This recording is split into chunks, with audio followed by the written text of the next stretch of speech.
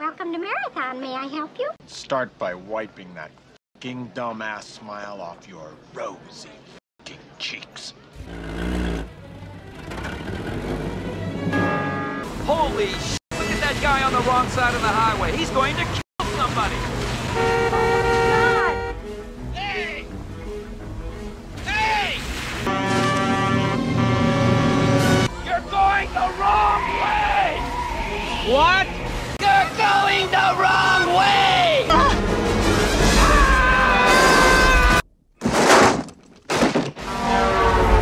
You don't need the laptop.